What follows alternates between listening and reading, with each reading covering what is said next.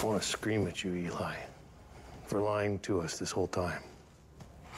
But I can't, because I'm afraid of what you'll do if you'll hurt yourself. I won't. Emma and I, we always kind of let you do your own thing. We gotta start treating you like a kid, watching out for you better. Clarabelle, video game kid. Uh, wait, don't tell me your name. It's Adam. And I'm just Claire. Oh, I'm sorry, guys. I've been up since three doing the radio show, and it all gets a little verkatky up here in the brain pan. You know what I'm talking about. Actually, Eli just sent us to pick up his English homework. Nobody's allowed into Eli's room. He gave us the combination. Yeah. O- Okay, well, good. Hey, McCloy, what do you say? Hey, Hamilton, have a holly jolly Christmas. Is Allen still handling the Fisher account? Of course, who else? Mistletoe alert!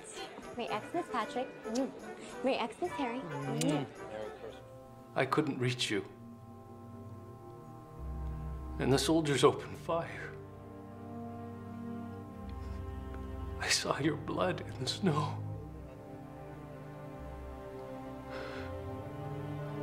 I watched as you got crushed against the gates. And they dragged me. They dragged me onto the ship. I could still feel the imprint of your hand in mine. I can still feel it now. You're gonna be comfortable down here? Yeah, I'll be fine. Darren, we need to talk. About what? I want a separation.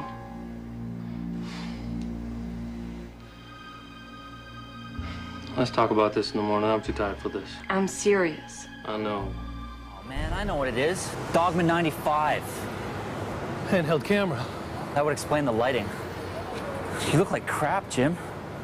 Right back at you, Bob. Damn you, Lars von Trier! Oh.